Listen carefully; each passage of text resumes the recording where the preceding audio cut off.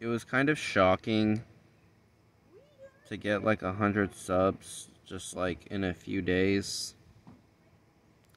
Like the algorithm kind of I don't know, it was like testing me or something, but now I I lost. Now I'm like losing subs.